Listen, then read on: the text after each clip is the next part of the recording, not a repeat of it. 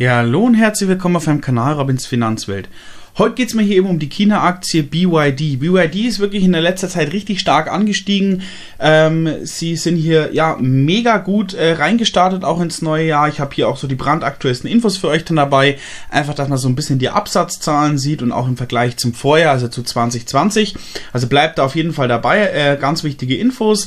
Und sie sind auch allgemein für die Zukunft sehr gut aufgestellt und auch in einem Sektor natürlich jetzt äh, unterwegs, der in China immer spannender wird. Und äh, wie gesagt, BYD ist mittlerweile auch in aller Munde, kann man sagen. Und wie gesagt, möchte ich auch auf den wichtigsten Wachstumscheck jetzt eingehen, dass man da so mal die wichtigsten Daten hat. Dann schauen wir uns am Ende auch natürlich noch den Jahreschart zusammen an und eben die wichtigsten Infos. Ja, und wenn euch mein Video, mein Kanal gefällt, dann drückt an dieser Stelle den Abo-Button, um mich zu unterstützen. Würde mich natürlich freuen, wenn ihr auf meiner Reise dabei seid. Ja, dann würde ich sagen, wir starten hier jetzt. Und zwar schauen wir uns jetzt erstmal den aktuellen Kurs an. Der liegt ja bei 28,43. Gehe ich aber später nochmal auf den Jahreschart drauf ein. Und wir haben hier richtig starke Wachstumspunkte, also 14 von 15 Punkten aktuell. Wir haben ein durchschnittliches Umsatzwachstum auf zwei Jahre von 9,8 Prozent, im Quartal gegenüber dem Vorjahr von 40 Prozent und eine Performance auf ein Jahr, die sich richtig sehen lassen kann. Man sieht hier unten von den 433, wie es richtig nach äh, oben gelaufen ist in eine Richtung. 455 Prozent auf ein Jahr kann sich, glaube ich, sehen lassen. Und auch der Abstand zum gleitenden Durchschnitt, also zur 200-Tage-Linie, ist äh, deutlich darüber mit 112 Prozent.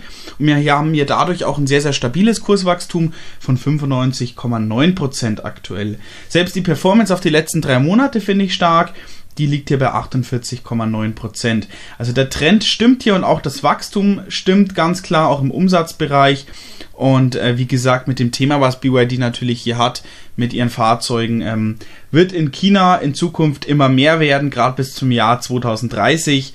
Ähm, ja, werden sie ein großes Stück vom Kuchen, denke ich, abbekommen. Und jetzt schauen wir uns hier einfach mal an, was so die wichtigsten Infos sind, beziehungsweise was hier aktuell wichtig ist. Ähm, ist jetzt auch brandaktuell. Ähm, BYD verkauft hier über 14.000 BEV im Januar. Ähm, also sie konnten eben die Verkäufe der Elektrofahrzeuge deutlich steigern im Januar.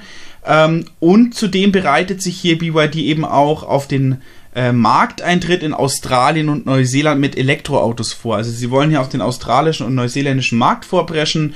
Ist natürlich wichtig hier zu expandieren und da gut anzukommen. Bleibt abzuwarten, wie gut äh, hier die Autos ankommen. Ich bin da aber ganz zuversichtlich. Ähm, und jetzt zunächst mal zu China natürlich hier zu den Zahlen. Hier hat jetzt BYD im Januar äh, 20.178 Elektrofahrzeuge und Plug-in-Hybride abgesetzt. Ähm, das sind 182 Prozent mehr als im Vorjahresmonat 2020. Das ist natürlich mega stark. Also 182 Prozent plus ist natürlich eine äh, Marke für sich.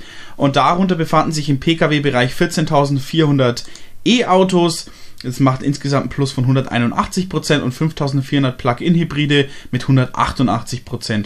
Und hinzu kamen noch 307 E-Nutzfahrzeuge und das macht einen Plus von 171%. Ähm, ja, das ist einfach äh, das Wichtigste, was man wissen sollte. Und dann ist es auch so, dass laut äh, chinesischen Medienberichten zufolge zumindest ha hat BYD hier das Ziel ausgegeben, im Jahr 2021 400.000 NEV verkaufen zu wollen, ähm, wobei sich eben dieses Volumen zu gleichen Teilen ähm, aufteilen soll und damit wären im Schnitt 33.333 Fahrzeuge pro Monat nötig. Erreicht hat BYD hier eben im Januar äh, 20.178 Einheiten, also ein bisschen darunter. Aber es sollen in diesem Jahr hier weitere Modelle auf den Markt kommen, unter anderem eben auch der BEV fokussierten Plattform EV 2.0 nennt er sich dann. Und ähm, die wollen damit natürlich den Absatz dieses Jahr deutlich ankurbeln und eben diese, diesen Schnitt von diesen 33.333 Fahrzeugen pro Monat schaffen.